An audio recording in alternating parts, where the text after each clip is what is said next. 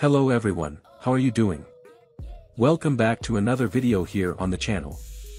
In today's video, we're going to talk about the statement made by player Patrick Beverley. Make sure to subscribe to the channel so you don't miss any news about the Bulls. Let's get into the video. The season for the Bulls was marked by ups and downs, resulting in a record of 40-42 and placing them as the 10th seed in the Eastern Conference. Although they secured a spot in the play-in tournament, their journey came to an end with a loss to the Miami Heat, following a courageous victory over the Toronto Raptors. However, Beverley believes that everything could have been different if he had been with the team from the beginning. Despite only playing in 22 games for the Bulls, Beverley's impact was undeniable in the final stretch of the regular season.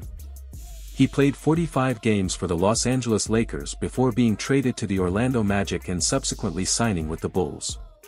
During his time in Chicago, his leadership, courage, and above all, his defense played a crucial role, leading the team to a 13-9 record. Patrick Beverley, known for his determination and confidence, believes that the Chicago Bulls would have achieved a position among the top four teams in the Eastern Conference if he had started the season with them. According to Beverley, his presence would have significantly improved the team's playoff chances and would have led to a different season finale.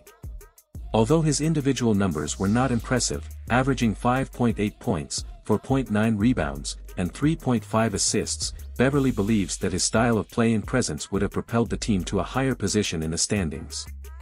His confidence in the Bulls' ability to achieve success with him as a point guard from the beginning reflects his determination to make a difference in any team he signs with.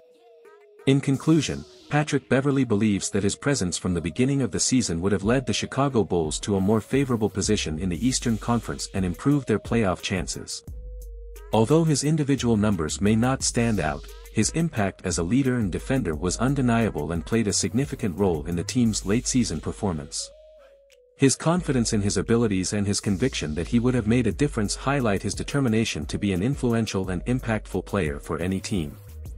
So, fans, do you agree with Patrick Beverley's opinion?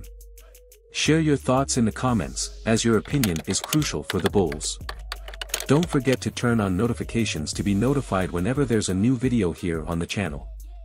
Take care and see you soon.